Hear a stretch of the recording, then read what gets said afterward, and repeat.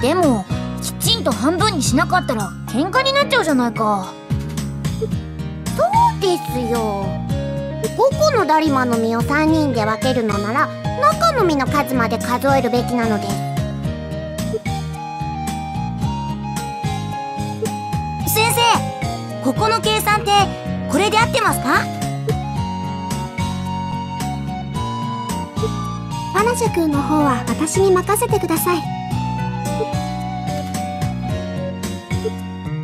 見せてくれるかなパナシェ君。うん。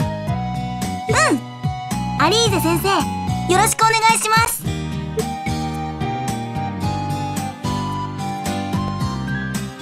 明日の書き取り試験の問題作ってみたんですけどどうでしょうか？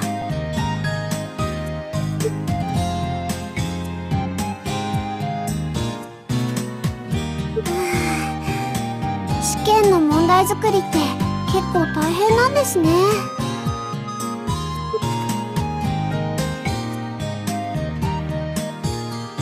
試験を受ける立場の時は考えてみたこともなかったですけど問題作りとか採点とか大変なのは先生も同じだったんですね。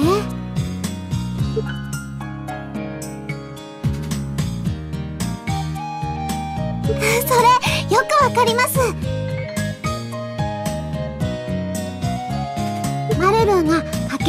け算を暗唱できるようになった時は本当嬉しかったし。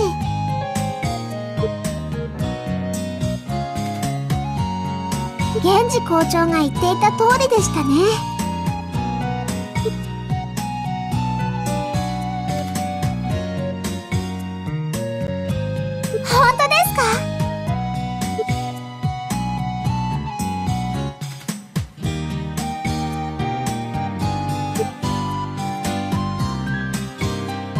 じゃあ私も早く見習いを卒業して一人前の先生にならなくっちゃ。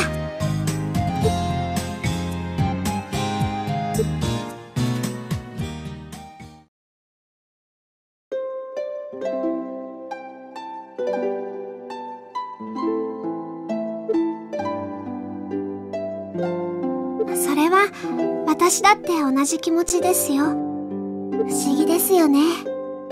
文学校の宿舎で寂しくなっちゃった時真っ先に思い浮かんできたのはマルティーニのお屋敷じゃなくてここでの思い出ばかりでした。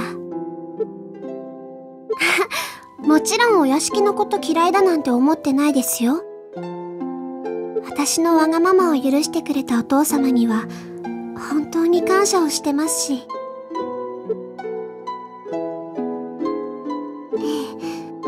ですから私頑張って絶対に立派な先生になってみせますよ。胸を張ってお父様に報告できるよう自分の選んだ道で幸せになるんですから。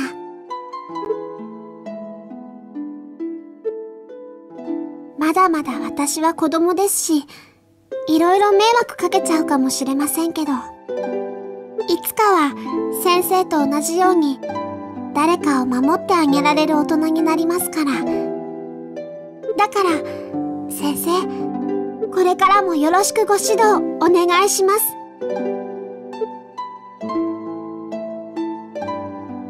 はい。